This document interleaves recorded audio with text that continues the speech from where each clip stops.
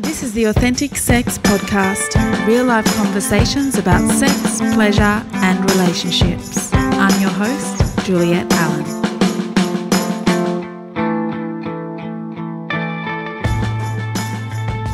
Welcome to another episode of the Authentic Sex Podcast.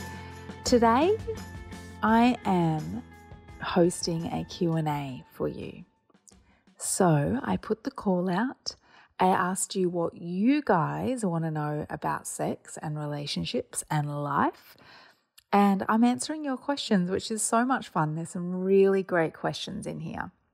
So I'm sitting in front of my fireplace tonight, answering them for you and covering all sorts of topics. So we cover trust, we cover sex, magic, fantasies, getting back with an ex, G spot and cervical orgasms, high standards in dating, um, connecting to your body during self pleasure, being in the sexology industry, imposter syndrome. Gosh, so many topics. What else?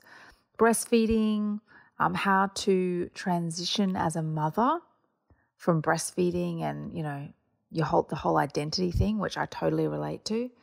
Um, porn habits came up, erectile challenges came up, date ideas, that was a good one and a fun one. I spoke about Nick and I's dates. Navigating a relationship with someone who has children, also something I've experienced. Um, and experiencing dating with a child. So I'm speaking about being a single parent and dating.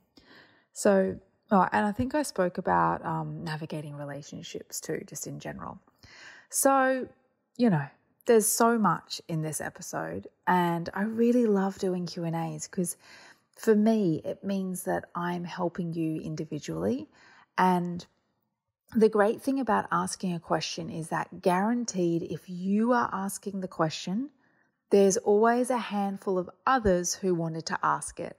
So the answers I know guarantee won't just help one of you, it will help many of you.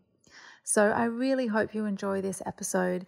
If you do have your own question, feel free to email me and I will do my best to respond in the next Q&A. This episode of Authentic Sex is sponsored by the Juliet Pleasure Wand. The Juliet is a premium crystal pleasure wand designed to heighten your sexual energy, increase self love and self pleasure, expand your orgasmic experiences, and connect you to your true sexual essence. You can read more and purchase your own crystal wand by visiting my website www.juliet-allen.com. I have so many questions this month and they're all super interesting. So, yeah, sit back and enjoy or do your exercise and enjoy. So, let's get stuck right in. Um, the first question is about trust. It says, I struggle with trusting people due to past experiences, not just romantically, but in all relationships, professionally, and even with family. I'm in therapy to work on this, as it has led me to isolate myself and hold on to resentment, cutting people off. I long to be vulnerable and trust openly without building walls around my heart and feeling alone. Thank you so much for sharing. Um, this is a really big one, and by you sharing, you're going to help other people because this is such a common one trust. It's been a, a theme for me um, over the years, especially in my, I would say up to about age 35. I had so many trust issues, and they were um, they were a result of stuff from my childhood and my teenage years that was unresolved, and um, yeah, and I just I have been so committed over the years to consistently working on my trust stuff because like you, it made me sabotage relationships. It um it, it contributed to me feeling alone and it just caused so much anxiety, like worrying about who I can trust and who I can't, who's going to cheat on me and who isn't.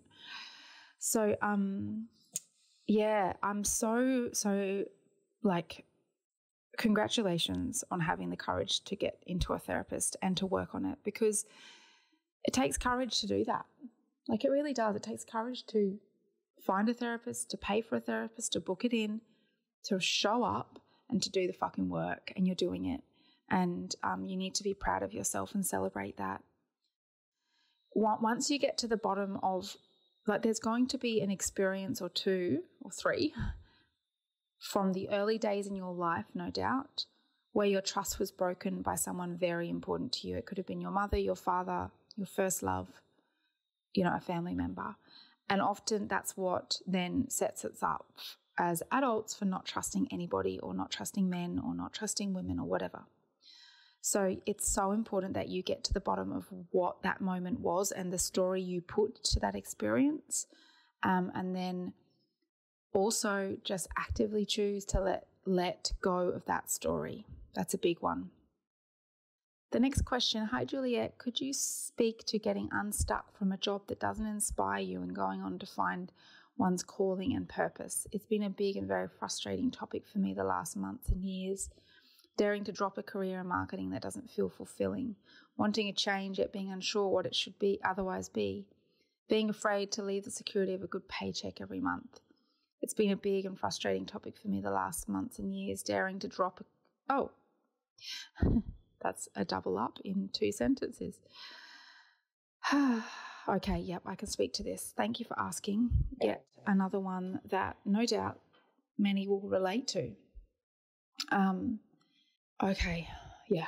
So to feel fulfilled and to feel deep joy and to feel on purpose. I do really believe that it's it, it helps so much if we can be doing a job that we love, that we look forward to, that doesn't feel like work, and that feels like we are serving not just ourselves but others in the world. Now, it sounds like you haven't found that yet, but the good news is you can find it. I, I I'm not sure of your age, but I found sexology. I went through so many careers. My God. Just looking, just searching, searching for what felt purposeful for me. And so I decided to study sexology at the age of, how old was I? About 30, let's say.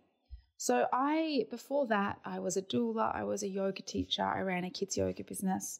I had a jewelry company that I made jewelry and I sold it to boutiques. Um, what else did I do? I worked as a barista, I made coffee. I've, I did all sorts of things, like all sorts of things. Just searching, and um, and I studied psychology too. So, um, oh, and I studied acupuncture, like so many things. Keep searching, like to find what feels purposeful for you. You need to, to try different things. Like, what do you really love? Like, this is a question I asked myself when I was looking for a career change out of yoga. I, a friend said to me, What do you love? Like, what do you love most in life? And I was like, I love sex. I fucking love sex. Like, I can't get enough. And it, it was actually my therapist. I did a therapy session.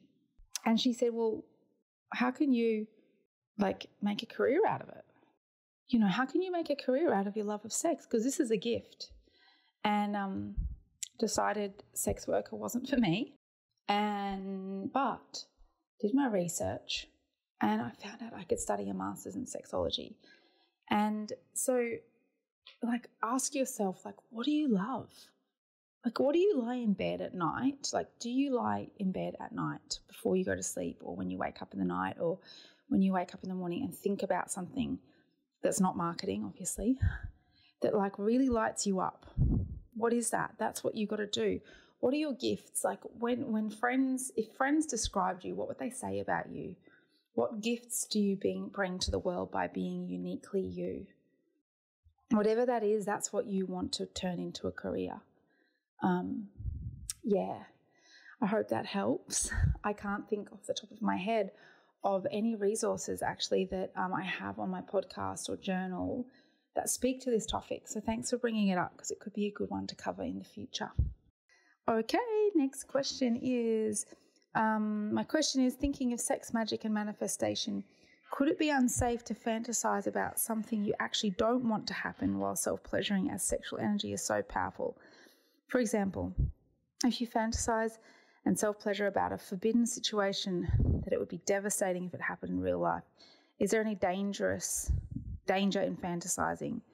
Could you be doing sex magic or manifesting something without wanting? Is there such thing as unconscious manifesting while fantasizing? Well, this is such a great question. I don't have the answer. I'm not even going to pretend I do. It's it's made me think. You know, I, I've thought about this before because, like, whether we admit it or not, we all fantasize about at some stage in life random stuff, whether it's fucking our neighbor or a fucking a family member or some forbidden situation, you know, our teacher, our doctor, I don't know, all the things. They're all out there. They all, we all have our kinks and it's normal and it's natural and there's nothing wrong with it. And so your question is, you know, does that kind of unconsciously manifest stuff? Look, I think it does because I, I think, like intuitively, I feel like our mind compartmentalizes. Um, you know, so let, let's give the example of fantasizing about our teacher. Let's do something really vanilla. Fantasizing about fucking our teacher. Like when we do that, we get turned on, we're not feeling like, like, okay, let's go back. Manifesting is the art of, of genuinely feeling all the gratitude and the emotions that come with, pardon the pun, come with um, a dream, a vision we have for our life. Say, for example, we want to manifest conceiving a child and we really feel like into what it feels like to have that child in our belly. We feel into what does it feel like to birth that child into the world? What does it feel like to like breastfeed our own, you know, little baby for the first time? And like, so this is manifesting. It's like really feeling gratitude for how you feel and and feeling what it's like to be that future self and to be in that future experience. So that's manifesting actively. But when we just masturbate and suddenly we have a vision of we're having sex with our teacher and it's forbidden, we're not we're not going into emotionally like, oh my God, how would it feel if this actually happened? We're just like, oh yeah, he's going down on me. Hot, I come, you know, whatever. So I don't think like I just I wouldn't get up in your head around it. Like I don't. And God, believe me, I've fantasized over weird shit before. And none of it's come to fruition. So that's my thoughts on that one. Thank you for asking. No one's ever asked me that one. Next question. Thoughts on getting back with an ex when it is when it is appropriate. Tips for reconnecting, breaking old cycles, how to rebuild. Yeah, look, it can work getting back with an ex. Sometimes what we need is a break from each other, a break to reconnect with ourselves, a break to connect with our values in relationship, um, in what we want, what we don't want, what we'll settle for, what we won't settle for. And then coming back together and having, you know, those meaningful conversations that reconnect us and creating new relationship agreements, which is very necessary, by the way, if you get back together. Um, can strengthen a relationship. So I'm, I'm a big advocate for having space. I'm a big advocate for reconnecting to self and then coming back together and seeing if it works. And this, I've done this twice. Once with an ex, we had a break, we got back together, but it just didn't work. And then with Nick, we had a month break very early on in our relationship and we got back together and look at us like nearly seven years later, two kids, well, three kids, including, um, so three kids. We've got three kids, but one of them, you know, I had before Nick. Um, and our relationship is strong. So, um, my my tips are um, there is no rules. There are no rules, right? Um, to break old cycles, get a therapist and do couples therapy. It's the only way forward. Like, I don't care what anyone says. If a relationship is having troubles, you need a therapist, you need a third party who is not a friend or family member or some random at the pub, whatever, colleague, I don't know, to help you. You need someone who is a professional, who does it for a living, who can help you guys reconnect, reestablish relationship boundaries and agreements, and move forward. That's that's the way. That's how you rebuild. You prioritize that, you pay for that, and if you're really committed, you find someone. Next question. Let me just scroll up. I just bought your curved rose quartz pleasure wand, my first sex toy. Woohoo, woohoo, congrats. Um, I'm looking for resources on achieving G spot and cervical orgasms. Do you have any recommendations about a good place to start with these? I'm having a major awakening of sexual energy at age 40. Awesome. And it's been wild. I'm in the midst of leaving a long term marriage, choosing me, and diving fully into self love. Oh, how fucking exciting. Excuse my language. I love the word fuck for various reasons. How exciting. Like, fuck yeah. You're like 40 and which is a powerful age. Fuck, I'm 41. It's just been so awesome to turn 40 and yeah, and you're leaving a long long term relationship, which to be honest, I find really exciting if it's not working because like, oh my god, the possibilities are endless. Like new lovers, time to connect with self, all the things, how exciting, and you bought a pleasure wand. So my tip is take the focus off your clitoris if you are focusing on it. Just do a month. No clitoral touching, which can be really hard. I don't find there's anything wrong with clits and touching our clit at all. I love touching my clit, but um, it can be problematic when that's all we're doing and then we miss out on like you know cervical orgasms and internal orgasms and all the things so first lay off the clit um, and then pay attention to the sensation in your body and reframe how you think of orgasm most of us think of orgasm as like a big explosion but it, it doesn't have to be that like orgasm can start before we even touch ourselves, before you even use the wand. It's like this, you know, that buzz of energy in your sex center. That's orgasm. That's orgasmic energy building up. Let it build up. Don't rush in. And then breathe. Breathe the energy up from your sex center, which is located in your genitals, all the way up, all through your tummy, your heart, out through your arms, up through your head, out through your crown. Like breathing, using breath is so powerful. Um, and then exploring your cervix is like, oh God, it's just, it's just the gateway to so much bliss and pleasure and healing as a woman. It's the gateway to our womb. So don't be surprised if when exploring that area of your body internally that you a lot of emotion can come up to be healed um okay next question hi juliet i'm 26 and i haven't been in in couple with anybody. I have had some small adventures and sexual relationships. If I wonder if I'm being too rigid and have having too high standards if I haven't met anybody with whom I actually feel a connection that makes me want to settle in a relationship. Well, actually there was one guy but I didn't it didn't work out since he was already engaged in a relationship, okay? Is there a way to know if it's my own standards that are set too high and kind of unrealistic or is this normal? I just can't be bothered to start a relationship for the sake of it. And so I wonder if I'm waiting for something completely out of this world. No, not at all. Like, gosh, you're only 26 years old. Like, you're 26, you're a baby, you're so young. Like, just enjoy being single and dating. And um, when the right person comes along, they will come along and you will explore. And it doesn't mean you'll be with them forever. And, you know, you may get your heart broken. There's all the risks involved in diving into a relationship. But when they come along, you'll know. And if you are concerned that there are things blocking you from opening your heart and really receiving and giving love, and if there if you're concerned there's things blocking you from being deeply intimate and connected to another human, then get some therapy. Again, talk to someone like me who can help you unpack why it is the why you are the way you are. Because we all have baggage. We all have stuff that's holding us back. Even I.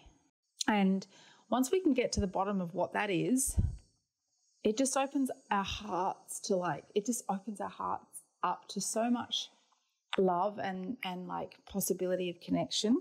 Um, there's nothing you're so young. Just keep exploring keep, you know, connecting to self, number one, always priority, connection to self, and then connecting with others, and your person will come along. All right, next question. Oh, another question from the same person. Okay.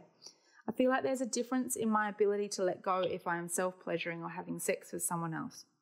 Alone, I am much more keen to be in my head and not so much in the body. With someone else, I can let myself be held and taken by the other person and be much more present Any tips specifically on dropping more easily into the body when solo lovemaking?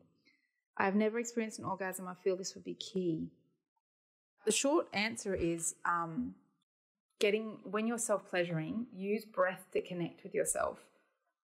So if you're in your head, to drop into your heart and your genitals, your sex center, use breath. So I'm going to put some resources below for this and take your time. Like when we're self pleasuring, we can often rush. I mean, that happens in sex too, but it can often be a rushed experience. And that can lead to us being in our head too, especially if we're, we're in our head. It's like we're racing to the finish line again. We're racing to the big bang, and then we get on with our day. But if we can just take time to like truly make love to ourselves, like imagine you're making love to like the most exquisite lover in the world. You're not going to rush. You're not going to race to an explosive orgasm. You're going to take your time to like really explore their body. Um, and so, yeah, I want you to do that with yourself. Make love to yourself. I have to interrupt this episode to let you know that today is sponsored by Pleasure School. Pleasure School is a monthly membership where together we study intimacy, conscious connections, and how to embody our true sexual essence. Every month, students of Pleasure School access members only educational content across a wide range of formats, including written, audio, video, and guided home study. Pleasure School is led by myself, and I'm also joined by other teachers who are pioneering in the fields of sexuality, relationships, and holistic health. This is your chance to join a unique online school like no other in the world. Learn more and join Pleasure School at www.juliet-allen.com. That's J U L I E T hyphen A L L E N com. Okay, next question. Hello, Juliet. I hope you and your family are well. I'm launching a holistic, kink friendly sexologist in Mexico next year, and I would love for you to share me some business and personal advice as I'm dealing with the imposter syndrome. Gracias. My biggest piece of advice to someone who's entering into this this industry is to to like show up for yourself to explore sexually all the time, to have heaps of different experiences. You're going into kink, so it's like obviously that's something you're really interested in personally. So keep exploring and have integrity. You know, like you can't be a sexologist if you're not having great sex. And you don't have to be having great sex all the time, but you do need to be like, that needs to be your goal. Like that, that and you need to have experienced great sex if you want to lead others into experiencing that in that in your life. So have be super authentic. You know, you can't it's like you can't be a naturopath, like a natural doctor if you're not healthy, in my opinion. You know, you see an unhealthy natural doctor and it's like, I'm not gonna pay you money to bloody look after me if you're unhealthy and yeah. So same goes with a sexologist. Um, you know, you need to walk the talk. That's my advice. Um, so the next question is um, Hi, Juliet. I have a boundary that I usually set with new partners that I don't have penetrative sex outside of a monogamous relationship. I do this because when I have sex before trust is there, I feel really unstable. I found this works well for me personally. I need trust to come before touch. However, I broke my own boundary and had sex with someone first time meeting them. Do you have any tips for recentering myself as I feel really anxious? Would also appreciate any tips on re-establishing some boundaries for getting to know this person in the dating phase so I don't end up in a situation. Thank you. Okay, first, like be gentle and kind to yourself. It's okay that you broke a boundary. You know, boundaries like are, are important, and also if we break a boundary, it's okay. Um, it sounds like there was a lot of energy at your sex centers and a big connection there, and you just went for it. And We've all done that at some stage, or most of us have, and it's okay. Um, and what I would say, you know, you said you feel anxious. Anxiety is fear of the, the future. It's, it's really good to be aware of. So, what are you fearful of? And tips on re-establishing boundaries. What I would say is, you know, if you like you really enjoyed that experience, but you want to pull back and slow it down, then just say that to them. Express how you're feeling you know, you can tell them exactly what you've told me. Like, I don't usually have penetrative sex. You know, I feel like I need to build trust. I would like to slow things down. um, and just go back to exploring sexually without that. And if they are the person for you, they're going to fully respect that. They're going to love that about you. They really are. They're going to love that about you. Um, so I want you to really like own that that's what you need right now. And also back to therapy. I mention this a lot, but I'm a big advocate. I would get get some support in exploring like why um yeah, why there's that trust stuff there. Because once we get really clear on why we don't trust, it can help us move forward in a really empowered way, especially when it comes to sex and relationships. Um, yeah. Next question, by the way, I'm, I'm, breastfeeding and this is perfect. So if you hear little sounds, it's Magnolia feeding. But the next question looks like it's about breastfeeding. So that's awesome. Um, so I've been nursing my two year old, and my body is telling me that it's out of energy and nutrients and ready to wean him. But my emotional self is not ready to let go of this time in my life. He's likely my last baby. I feel a lot of satisfaction in the work of nursing as well as good hormones. I feel like it will be a portal to another identity, and I don't know how to honor it and jump into the step of taking it. Um, okay, so I I fully I've been here. I feel you. Thank you for asking. This is big. Oh, and it can feel so sad. it's like the, the connection that a mother has with their child, their breastfeed, is just next level. Like only a mother knows. Only a mother knows. And such a beautiful gift that you have given your baby. And for two two years is just incredible and beautiful that you have like really prioritized that um, so, celebrating you as a mother, you're amazing, and just honoring you. And also, trust in your body. You said your body is telling you it's out of energy and nutrients and ready to wean him. Trust in that.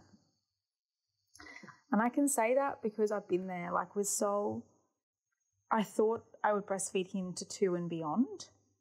Um, However, we got to, I guess I got pregnant when he was 17 months old and I breastfed him nearly all the way through the pregnancy. But I got to a stage where I just knew like I was depleted and I was growing out the child and breastfeeding. And I knew it was time. And I actually had to have a couple of therapy sessions about it because I was so torn. Like I did, I didn't want to let go. I loved the connection we had. I loved that it brought him back close to me. I was I was like, what does this mean for our relationship? But then I just yeah, I listened and I just knew it was the right timing and then I had to let go of, you know, what I thought it would be like. And so I did it very gradually, like over five months. It was such a gradual process and it just felt so in alignment with where I was at. I didn't want to go cold turkey. Um, and it was perfect. Like I weaned him about two weeks before our daughter was born, and she was unexpectedly born early at 30 weeks. So it was like my body knew, like you need to wean him because you're going to be away from him. Um, that, just so much. Like it was amazing. So please trust in your intuition and like trust in, just just trust, trust in your body, trust in your baby, um, and like so many mums I spoke to about this topic spoke about how like they it just actually brought them and their child closer. And um, because you connect in different ways when you're not nursing. So yeah i hope that helps. The next question is you may have a podcast on this topic already but trying to understand porn habits of a partner what's considered normal habits what's considered borderline addiction is porn acceptable in a long-term relationship this topic is general. I'm curious to explore. Me personally, don't feel the urge or need to watch porn. Sure, I've dabbled, but doesn't really interest me. Would be keen to understand more on this and your thoughts. Look, porn, like, it can be acceptable in any relationship, not just long term. But it depends on the two people or the three people or however many people are in that relationship as to like what they feel comfortable with and what they don't. Um, what's normal, what's not, like that's different for everybody. You know, for some people, it can feel great to watch porn every day, and for others, they can be watching porn every day or every week or every month and just feel like shit. So I try, I'm encouraging you to like explore what it feels like to watch porn or what it feels like to have a partner who watches porn. because we're all unique. Like there's no, there's no like cookie cutter piece of advice, whatever you say. My brain's not entirely there postpartum, but there's no like one bit of advice I can give everyone around this. There's nothing wrong with porn, but it can be detrimental to a relationship too. What's addiction? Addiction is needing it to to like needing it to function. You know, needing it, like not not being able to not have it in your life. It is Nick can talk to this actually. He can talk to this a lot. He's really into learning about addiction. I'm not I'm not such a big um, like expert on addiction, so I'm, I'm actually not going to speak into addiction because it's not my thing as a therapist. But um, yeah, if I worked with you one on one or worked with you and your partner, I'd you know explore with you both like for you, like what is there a trigger around your partner watching it? Um, for your partner, um, does do they feel like it's it's problematic? You know, these are all the questions I'd ask, but I feel like it's hard to answer just in a like a general Q and A. So I'm sorry I can't help you more. Next question Dear Juliet, I recently started dating a new partner. We're sexually exclusive, and although our sexual intimacy feels very sweet and loving and satisfying, he sometimes struggles to keep an erection. I feel generally quite relaxed about it as I love exploring non penetrative ways of sex, and I reassure him a lot that there is no pressure from my side at all. However, he expressed that he feels quite ashamed and stressed about it, and it does affect him emotionally. I'm sure it's a psychological, emotional thing as he is a healthy 20 something man. So, my question is how can I best support him in this situation? I'd love for him to be able to feel relaxed and safe within our shared space of sexual intimacy. Thank you for your work. As always, much love. Great question. I'm going to put some resources below on like ejaculation, a couple of conversations I've had with Nick on the podcast that may help. Um, if he's willing to, it'd be good for him to reach out to Nick and do some work with Nick because Nick's worked with like hundreds of men on this topic and he has a lot of um, experience um, as a therapist. He has personal experience. He he's just great at working with men on this topic and great with working at any but one. But it would be cool for your partner to um, chat to someone about it because there could be something that's going on there that's in his unconscious awareness that he, he just doesn't like he doesn't have awareness around sorry um, how you can best support him is doing what you're doing which is like reassuring him it's okay you know go slow um, and and talk about how how like encourage him to talk you know talk about how he's feeling um that it's okay like any memories he has like he may have some trauma or he may just have had one experience like one tiny experience where someone said something to him about his sexuality or his penis or whatever sex with him that threw him off um so, yeah, I'll pop the resources below um, conversations with Nick, and I recommend he reaches out to Nick. And you could actually reach out to Nick too and do a session with him because it's so good as women to get support in relationship from a man if we're in relationship with a man because we get the perspective of a man. Um, so, yeah. Hi, Juliet. What have been some of your favorite and most memorable dates? Always looking for ways to create beautiful experiences with my love, and I notice we share similar values as you guys. Um, look, I love like love going out in nature with Nick. Um, having sex in nature. It's not happening at the moment with the kids, but um, nature dates are really fun. We don't do like restaurant dates. We're not we're not into going to restaurants and, and eating. We like that's just not us. We're more adventure dates. Um, that that has to do with Nick. He's a real adventure guy. So, like, fuck, what have we done? Just so much stuff. Like so many, so much travel. You know, we don't particularly go on like specific dates. Like, oh, today we're going on a date, or Saturday we're doing a date. We just do life together. I do love a good coffee date though. Like every Monday morning we have a coffee date together. We we sit down and we leave our toddler with the nanny and we like just have a little coffee. And it doesn't even last for that long. And sometimes we don't talk much, but it's like we're just being with each other, having a little ritual. Um, yeah, that's it. Nature. I don't have heaps of creativity with dates, and neither does Nick. It's just like I guess memorable dates are like when we've gone into nature and had really great sex in nature, like on top of a mountain or on top of a sand dune or on the beach on like a deserted beach. They're my memorable dates. Um, okay, let's see how many. Oh, there's one more and it's very lengthy, so I'm going to read it. Um, yeah, I'll read it. Dear Juliet, I hope you and your family are all healthy and happy. I would love to hear your opinion on the situation. I've been now since this summer dating a man and we get along really well. I don't think I've ever met someone with whom I was this comfortable talking about anything, feel understood and loved, and we are aligned under several aspects. The only downside is that he has two kids with his ex that she that she really desired, but he didn't, as he was very young and, and younger than her. And since they're still relatively young, six and four, he feels like he still has to be present for them and doesn't want to show them that he has someone else as they might not understand his situation and suffer from it, that he'll be more confident about talking clearly to them in a couple of years. I do understand this choice, but it also means he still tries to be present for them at least during weekends. And since we both work full time during the week and live one hour distance from each other, sometimes it doesn't leave a lot of time for us to share together. He also says he's really confident about our relationship, but feels bad sometimes to keep me waiting. And on my side, I sometimes wonder if I'm actually doing the right thing, even though I'm not doubting on him as the wrong person. He's told me it's mostly on me to decide if I want to see other people too, that anyway, he will still be there for me. I feel like he's really doing his best to be present for me, and I really appreciate that.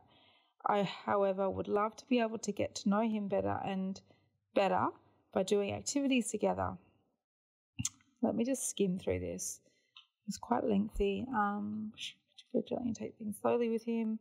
He's taking Stephanie to himself on the other side. I don't want to. Okay.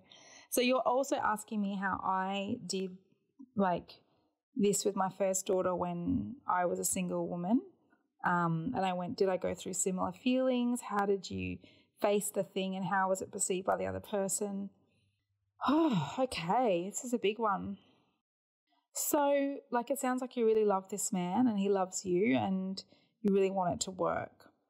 Um, and I understand where he's coming from and that he wants to prioritize his children. Um, however, he also needs to prioritize you if he's really committed to a relationship with you. And if he's really committed to, you know, being a role model for his kids and prioritizing intimacy and connection and love. And that's something that his kids need to be around and see, in my opinion um, if he feels like it's a really solid relationship. I do, I am a, a really big advocate of not like, as a single parent with kids, not introducing the kids to anyone too soon. So I think it's great that he's he's waiting for the right time. Um, I'm not sure how long you have been dating though. It doesn't say, um, but I, I respect him for his decision, and also there needs to be a bit of leniency there. Um, so it's like for you, you know, can you wait two years to have his children in your life and for him to introduce you to his ex and all the things that would need to happen? Or um, do you want things to progress sooner? Like, get clear on your values. What do you want? Do you want monogamy? Do you want to be seeing other people? is this man worth waiting? You know, do you. Hey, Bubba girl. Hang on a moment. It's, it's like it's worth getting clear on what you want. Like, are you both aligned with your future plans and intentions for this relationship? You know, does he want more kids? Do you want more kids? All the things. These are the conversations you need to be having. And I'd actually recommend doing the intimacy blueprint course that Nick and I um, put together. Um, it's really, really great for couples to get clear on their blueprint, like creating a blueprint for your relationship and really diving deep into like your values and your values that you have individually, but also as a couple. And yeah, making sure that you're aligned. So I recommend doing that. Um, you could do some therapy, like coaching. If I open my books, I'm happy to work with you both, or I'm happy to work with you because I'd be really interested in helping you get clear on what you want moving forward. Um, Nick is also a great therapist um, too. So there's two options, and uh, obviously my option depends on whether I open my books in 2024. Um, I'm just reading. Okay, you asked me my like what I did, you know, when my first daughter was born and I was a single mum. So I had a rule. Um, I didn't introduce my daughter to new men or new people, I should say, because I was in a relationship with a woman for a long time. Um, new people, like for a while. So you know, three, four, five months, and then I introduced them as a friend, and you know, spend a little bit of time every now and then. Um, and this was when she was younger. Um, I just I really separated um, dating. So I had my daughter every second weekend um, and also through the week. So on my weekend that I didn't have her, that was when I dated, that was when I saw lovers. That's when I had sex, all the things. And when she was with me, I spent time with her.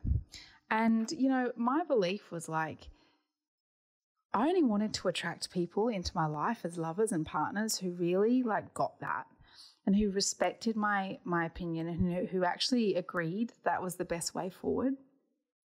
Um, yeah, that was important for me. And like anyone who didn't get it, they were out. It was like, nah. Um, but it, I didn't wait two years. Like that, life's too short. If I felt 100% certain about a new partner, which there's only been like, I think two or three that I've introduced Millie to over the years, then um, if I felt you know, certain about them, then it was important that within, I reckon, five months that, that they met Millie. And yeah, it was important. So we're also different though, right? Like what works for you doesn't work for me, etc. Um, yeah, I just like communicate heaps um, with him, get some outside help, do the intimacy blueprint, which will open again in 2024. Um, and yeah, I hope I hope this has helped. Um, once I open my books for coaching, please like book in. Let's do a session. I'll help you out. All right, that's it for today's Q and A. Thank you for asking the questions. I appreciate you all, and I love how curious you are to learn and explore and grow. You know, in all these areas of your lives. Thank you for listening to this episode of the Authentic Sex Podcast. If you love the show, please hit follow wherever you are listening and leave me a review. And if you really, really, really loved it, please share the podcast with your friends, family, and social media followers. Doing this together as a community, we can make an impact and support the world to feel more sexually empowered and free and just get the word out about these free resources.